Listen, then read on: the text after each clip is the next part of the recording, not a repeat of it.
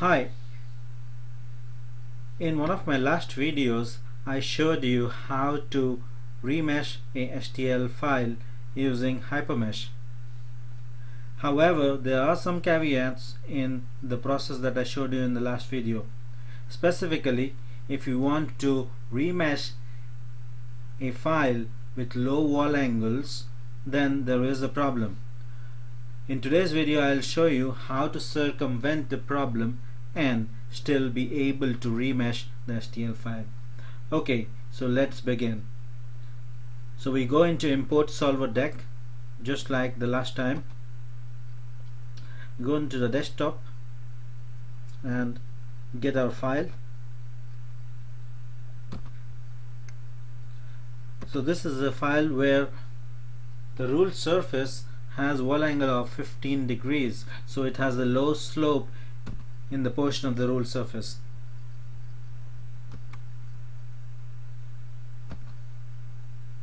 Now this is our part. Let's take a closer look at the part.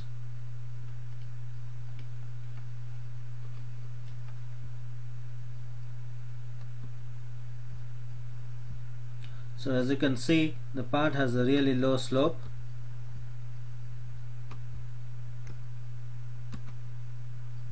now let's try to remesh it. If I go into AutoMesh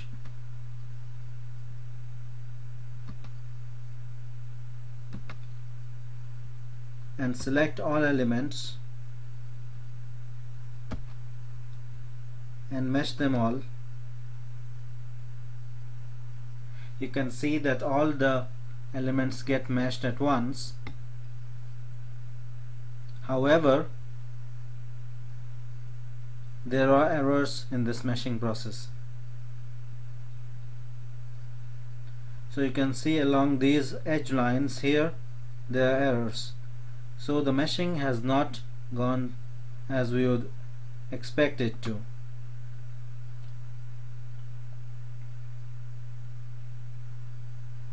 And this remeshing is not really acceptable. So what do we do well, we adopt another strategy to carry out this meshing. Before we move out, you can see the errors along these edge lines that lead from the ruled surface to the edge of the plane on top. So let's start a new project.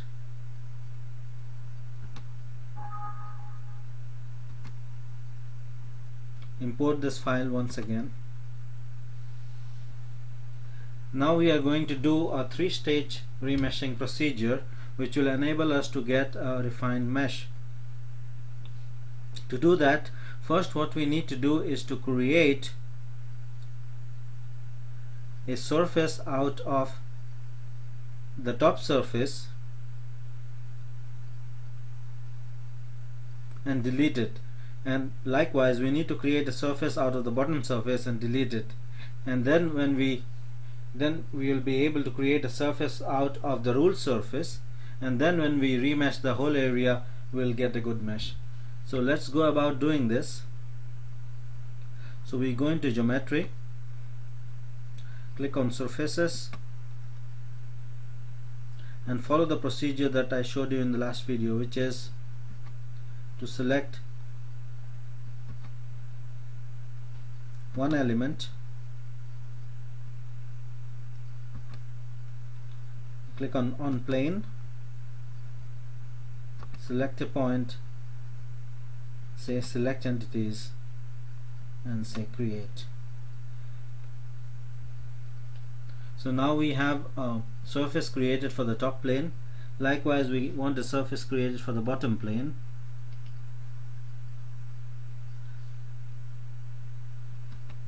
So we choose one element and we say on plane choose a point select entities and say create. So bottom plane is created now.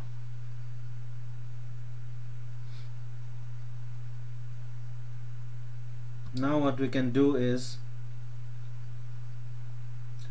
delete the top and the bottom planes. So to do that we click on surfaces and say F2 click on F2 select the element and say on plane.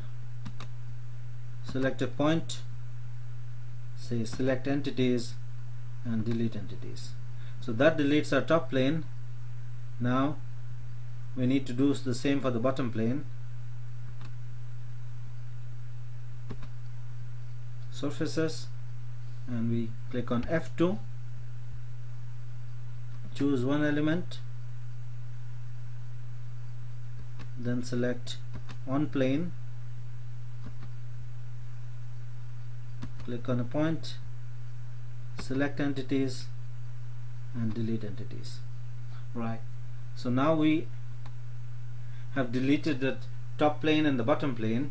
So now what we can do is create a surface out of the middle ruled surface. And to do that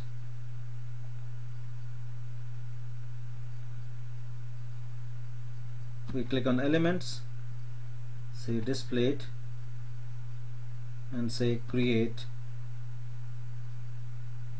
And it has created a surface and you can see on the bottom left of the screen here it says surface creation completed. Now we return back. So now we have three surfaces. One surface is for the top of the part one surface is the bottom plane of the part and the third surface is the ruled surface in between. So now we have three surfaces and we can go about remeshing these surfaces. Now we go into 2D mode go to auto mesh and click on surfaces. You can say all surfaces and we can choose our element size keep the mesh type to triangles and say mesh.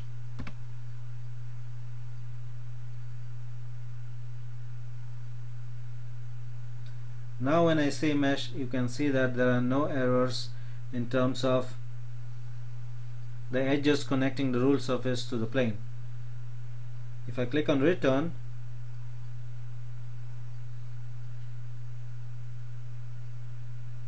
you'll see that the remesh surface does not have any errors. So in this region connecting the rule surface to the edge there are four such regions.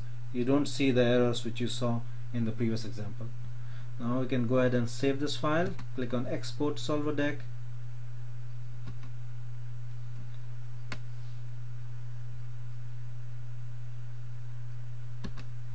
give it a name. Remeshed